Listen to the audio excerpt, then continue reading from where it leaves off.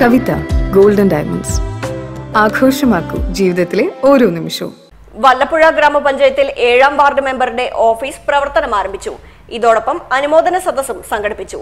V K Sreekandan M P ഉദ്ഘാടനം നിർവഹിച്ചു. വല്ലപ്പുഴ ഗ്രാമപഞ്ചായത്തിലെ ഏഴാം വാർഡ് മെമ്പർ ബിന്ദു സന്തോഷിന്റെ ഓഫീസാണ് കുറുവട്ടൂരിൽ ആരംഭിച്ചിരിക്കുന്നത്.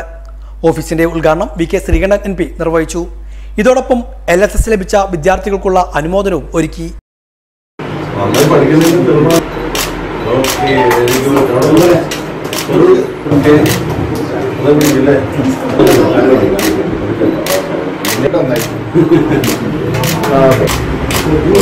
good.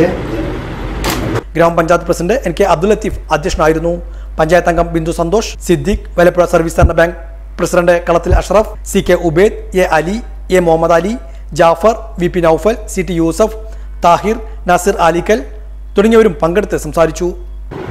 നമുക്കറിയാം തദ്ദേശ സ്വയംഭരണ വകുപ്പിന് അത്രയേറെ സ്വാതന്ത്ര്യം ഭരണഘടനാ ഭേദഗതിയിലൂടെ നൽകിയതാണ്. നിങ്ങൾക്ക് എല്ലാവർക്കും അറിയുന്നത് പോലെ ഇന്ത്യയുടെ പ്രധാനമന്ത്രി ശ്രീ നരസിംഹറാവു സ്ഥാനത്തിരിക്കുമ്പോഴാണ് ഇന്ത്യൻ പാർലമെന്റിൽ ഇങ്ങനൊരു നിയമം തന്നെ പാസ്സാക്കിയത് ശ്രീ രാജീവ് ഗാന്ധിയുടെ കാലഘട്ടത്തിലാണ് ഇത് തുടക്കം കുറിച്ചത്. കാരണം പഞ്ചായത്തി രാജ് നഗരപാലിക നിയമത്തിൽ ഭേദഗതി വരുത്തി.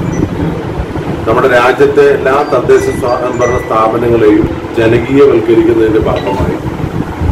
എല്ലാ വകുപ്പുകളും ഏറ്റവും താഴെത്തട്ടിൽ വിഭജിച്ച് അധികാര വികേന്ദ്രീകരണം നടത്തി. ലോകത്തിന് തന്നെ മാതൃകയായ സംഗതിയാണ് പഞ്ചായത്തി രാജ് നഗരപാലിക നിയമ ഭേദഗതി അതിൽ രാജീവ് ഗാന്ധിയും നരസിംഹറാവും ഉൾപ്പെടെ അന്നത്തെ ഭരണകൂടം വഹിച്ച പങ്ക് വളരെ വലുതാണ്.